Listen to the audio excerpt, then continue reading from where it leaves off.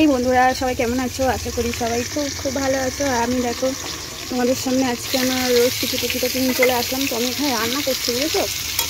দাঁড়াও।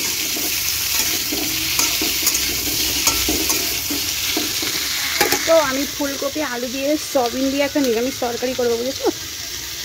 তো এদিকে তো আমি রান্না বসিয়ে দিয়েছি। ও আরেকটা কথা, আশা করি তোমরা সবাই খুব ভালো আছো। আর ভালো থাকো, আর আমার সাথে থেকো, ঠিক আছে? কতদিন ব্লগ ভিডিও করি না জানো তো? আর এখন আমি মোটামুটি ঠিক আছি তোমাদের ভালোবাসায়। আর তোমরা প্লিজ সাথে থেকো, পাশে থেকো, ঠিক আছে? আর তোমাদের পাশেও আমি আছি। আর যারা, যাদেরকে আমি বন্ধু করেছি, তারা তো ব্যাগ দাওনি, তাদের কথা আমি ছেড়েই দিলাম।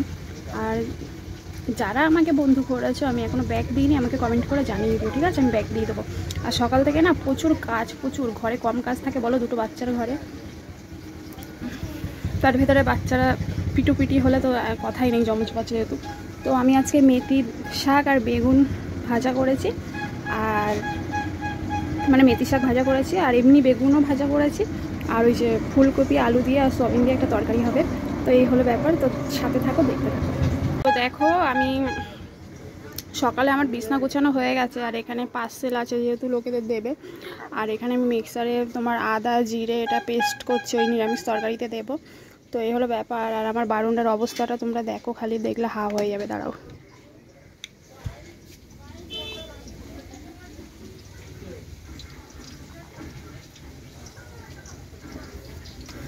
তো বারুন্ডার অবস্থাটা দেখছ কি হয়েছে? আর ও তো সেই ঘুরঘুর করে যাচ্ছে, যার ঠ্যাং ভেঙে গেছিল, আর এখানে ভাত হবে। আর এই যে, এটাকে আগে একটু ভাজা করে নিচ্ছি, আলু আর ফুলকপিটা। তারপরে এতে মশলা মশলা দিয়ে কষিয়ে নেব। গ্যাসটা লিভে গেল। তো গ্যাসটা লিভে গেছিল আবার এ করে দিলাম।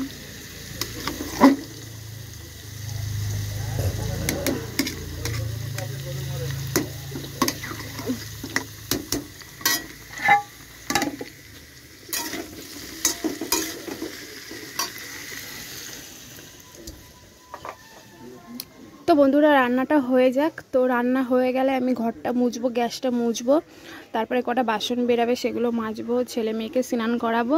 তারপরে তোমাদের সাথে আবার বিকালের দিকে আসছি কথা বলার জন্য, ঠিক আছে? তো টাটা, বাই বাই। বন্ধুরা, এই দেখো।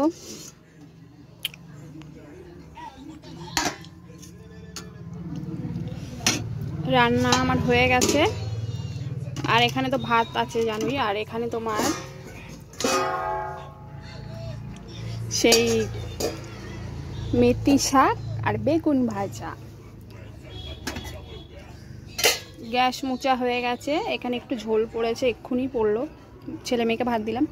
আর বাসনও মেজে নিয়ে এসছি। ওই যে বাসন। দেখো, এখন জায়গাটা পরিষ্কার হয়ে গেছে। এদিকেও পরিষ্কার, ঘর ফর সব মোচা হয়ে গেছে। তো স্নান করে আসি, তারপরে আবার দেখা হবে তোমাদের সাথে। ঠিক আছে?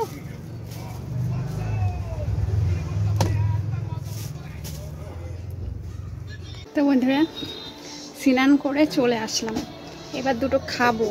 এখন কটা বাজে দাঁড়াও, বলি তোমাদেরকে। তিনটে বাজতে দশ মিনিট বাকি।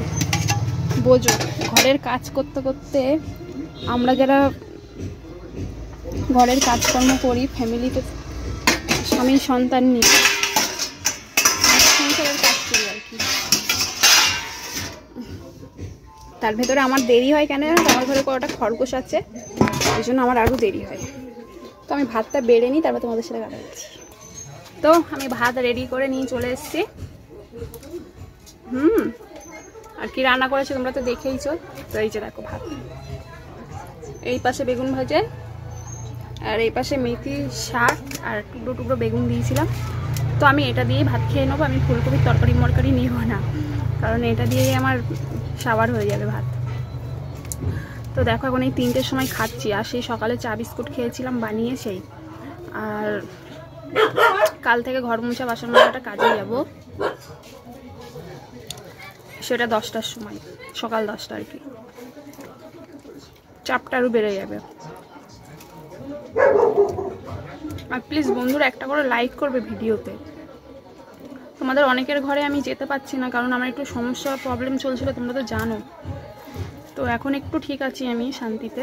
তো আমার শান্তি বেশিক্ষণের জন্য না, ক্ষণিকের জন্য। আমি বেশিক্ষণ হাসি খুশি থাকতে পারি না। হয়তো আবার কবে অশান্তি লাগবে ঘরে, এরকম একটা ব্যাপার।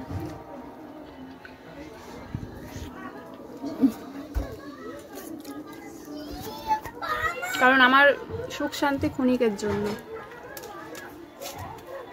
তো যাই হোক, এই হলো ব্যাপার। হ্যাঁ আমি না আমাদের এখানে জগৎপুর বাজার আছে আর একটা আছে মিদা মার্কেট বাজার।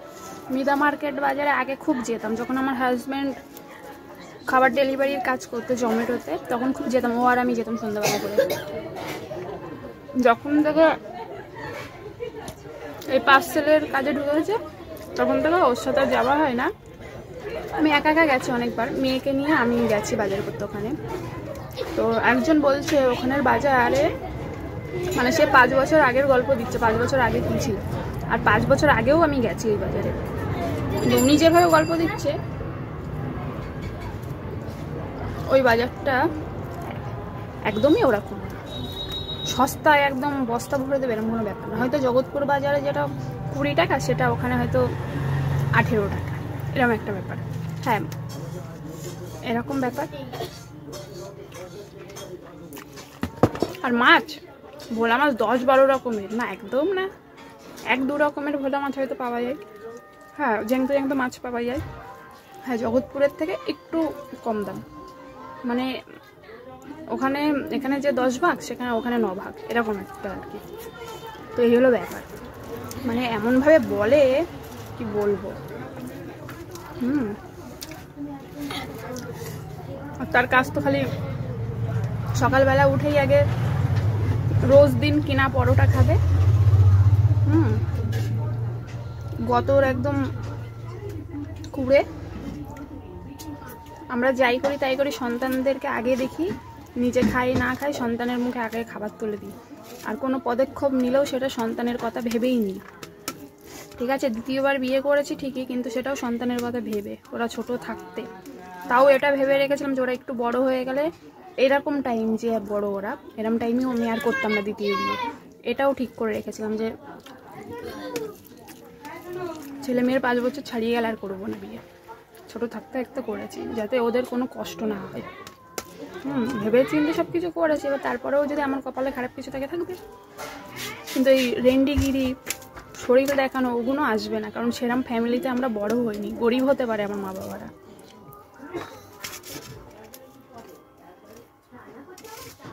ইউটিউবে দেখছি তো এখন। অন্যায় করবে। অন্যায় করবে, তার সাপোর্টার আবার বেশি। আর এই মৌমিতা বসাক।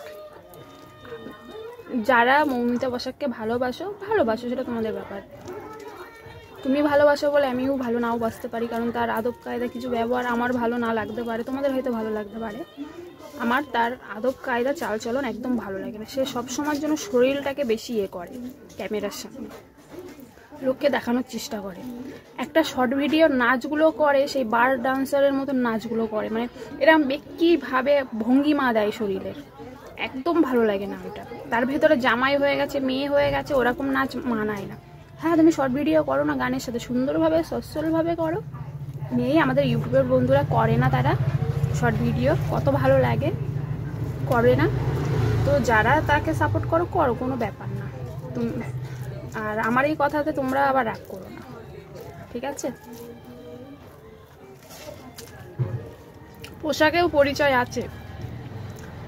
জিন্স, টপ অভদ্রতা না, সেই জিন্স, টপ পরার ভেতরেও একটা ব্যাপার থাকে। তুমি পরছো, সেই জিন্স, টপ পরার ভেতরেও ব্যাপার থাকে। হুম। আমরা বাজারে যাই, জগৎপুর বাজারে, আমি তো প্রায় সময় বাজার করতে যাই আমি। নেচে বেড়াতে যাই না। হুম, তাড়াহুড়ো করে তাড়াহুড়ো করে যাই, তাড়াহুড়ো তাড়াহুড়ো করে বাজার করে নিয়ে ঘরে আসি। ঘরে বাচ্চাদেরকে রেখে দিয়ে, খরগোশগুলোকে রেখে দিয়ে যাই, তাড়াহুড়ো করে যাই, তাড়াহুড়ো করে আসি আবার। ভিডিও করার কিন্তু সেইভাবে টাইম পাই না, দেখেছ ভিডিও করতে? করি না। কারণ তাড়াহুড়ো, তাড়াহুড়োতে ভিডিও হয় না। তো ও জগৎপুরে প্রায় সময় বাজারে যায়, কিরাম সাজ দিয়ে যায় ও। আর বিশেষ করে এই এই বুকের এই জায়গাটা একদম নিচের দিকে থাকবে জামা কাপড়গুলো পুরো বুকের ভাঁজটা পুরো দেখায় লোকদেরকে। হুম? চল, নাইটি পরে নে। এই তো নাইটি পরে আছি। কি দেখা যাচ্ছে? কিন্তু আর ও আর একটা কথা, শাড়ির তো ডাল চাল খিচুড়ি পাকিয়ে দেয়। মানে আজকে আমি শাড়ি পরেছি বলছে। তা ওই যে শাড়িটা পরেছিস? ওটা শাড়ি পরার কোনো ছিঁড়ি? হুম? পুরো শরীরটাকে দেখাচ্ছিস শাড়ি পরেছিস না তো ঢং, শাড়িটাকেই মান সম্মান মানে শাড়িটার আর ইজ্জত থাকল না। হুম? আমরা শাড়ি পরি না। শাড়িতে যতই একটু পেট দেখা যাক না কেন, তার সৌন্দর্যটাই আলাদা। হুম? হয়তো শাড়ি পরলে, পিন করে পরলে হালকা একটু পেট দেখা যায় নিচে। তাই বলে ও তো একেবারে সেই পেট কি, ওর এক সাইডের মানে যে ব্লাউজটা পরেছে, সেটার এক সাইডটাও দেখা যাচ্ছে। হুম। আবার ওর ঘরে গিয়ে কমেন্ট করো তোমরা কেউ কেউ। খুব সুন্দর, খুব ভালো। তোমাদের চোখে এগুলো পড়ে না? কি করে ও? সকাল থেকে ঘরের ওর যে ব্লগ ভিডিও ছাড়ে, আর দু এক সময় কাজ করলেও যে কাজ করাটা দেখায়, বেশিরভাগ পাছাটা দেখায়। ক্যামেরার দিকে পাছাটা দিয়ে দেখাবে, নাহলে পিঠের মাজার থলথলে শরীরটা দেখাবে। আমি জানি না কার খারাপ লাগছে এই কথাগুলো। খারাপ লাগলে কিচ্ছু করার নেই, যেটা সত্যি সেটা। আমরা ব্লগ ভিডিও করি না তোমরাও করো না বন্ধুরা। আমি একটা কমেন্ট করেছিলাম, ওর ভিডিওতে আমি কমেন্ট করি। যেটা অরিজিনাল সেটা অরিজিনাল সেই কমেন্টে আমি পঁয়তাল্লিশটা লাইক পেয়েছি। কারণ আমার সাথে পঁয়তাল্লিশ যারা কমেন্টটা দেখেছে আমার, তারা সহমত হয়েছে। পোশাকও পরি চাই। স্কুল ড্রেস কেন পরে?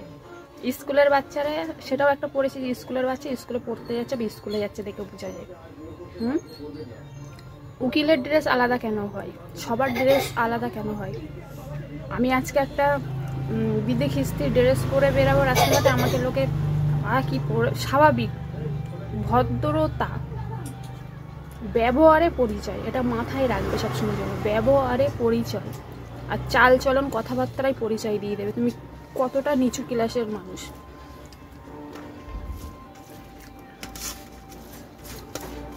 পোশাকে ব্যবহারে পরিচয় না কে বলেছে।